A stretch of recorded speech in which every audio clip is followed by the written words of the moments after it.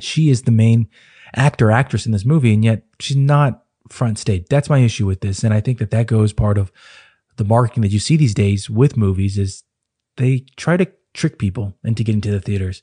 And when you're tricking people, instead of focusing on what actually draws people to the theater, I think that you're going down a path that is only going to get worse. And then you create these these discussions. Why aren't movie people going to the movies?